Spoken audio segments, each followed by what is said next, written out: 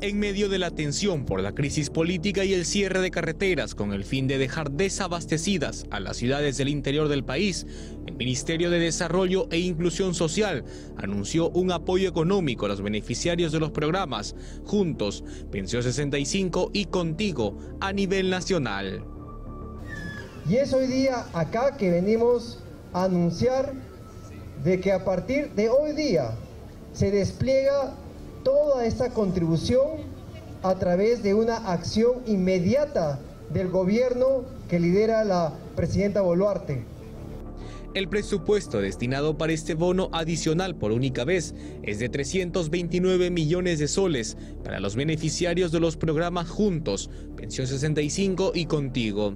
El monto que hoy inició a pagarse es de 200, 250 y 300 soles respectivamente.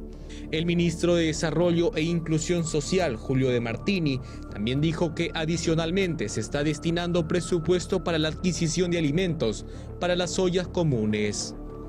Pero adicionalmente a eso, el gobierno ha destinado ya un promedio de 100 millones de soles para la adquisición de alimentos para la distribución a través de ollas comunes. Por su parte, uno de los beneficiarios del bono invocó al Ejecutivo y al Congreso buscar alternativas de solución ante el incremento de la violencia. Pido a nuestra presidenta Dina Boluarte que dé una solución a nuestro Congreso, a nuestros padres de la patria, ¿no? que nos dé una solución a, a nuestros hermanos peruanos de todas las regiones. Basta ya el subsidio económico beneficiará a 1.400.000 usuarios de los tres programas sociales. Los beneficiarios ya pueden cobrar en el Banco de la Nación.